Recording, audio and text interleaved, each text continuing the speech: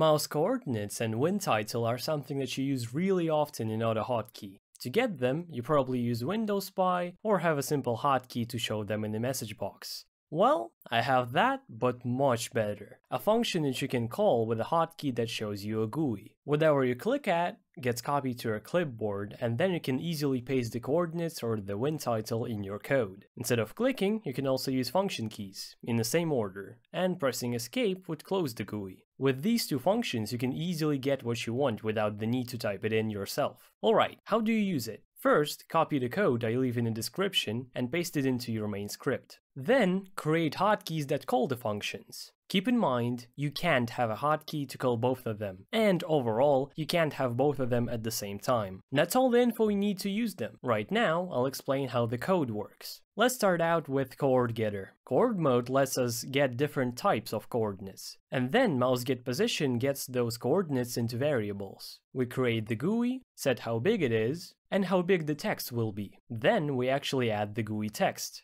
what it's going to show, and its position in relation to the last text. We also need to get the object to the text, so we can make it do something when clicked on. We'll get to these functions in a bit. The hotkey function creates a hotkey that does a function object when pressed. A function object is essentially you presetting parameters you pass into a function to then call that object without parameters, because you already set them.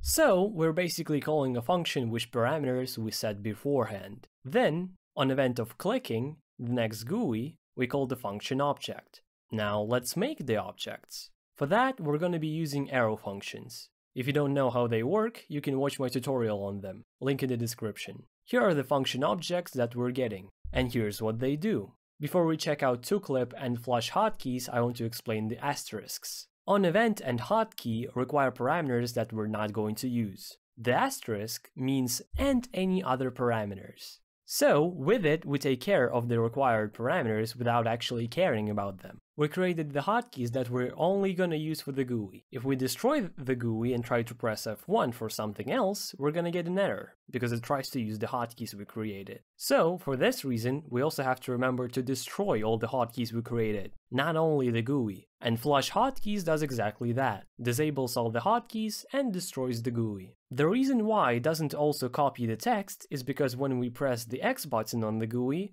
or press escape, we just want to close the GUI and do nothing. It would make no sense to even touch the clipboard at that point. That's where toClip comes into play. It flushes the hotkeys and also copies the text. So now coming back, we see that pressing the function keys, or clicking on the text, copies what it's supposed to, disables all the hotkeys and destroys the GUI. But if you close the GUI or press escape, it only disables the hotkeys and destroys the GUI, without copying anything. Window Getter works in a really similar way. I'm sure you'll spot the similarities. First, we get the different types of win titles, create the GUI the same exact way, then add the text and get its object, use the same two functions, just for less hotkeys, create the function objects to use in hotkeys and on event. So there's no difference in the idea of how it works. That's all the code explained. I hope you will find this useful and have a good day.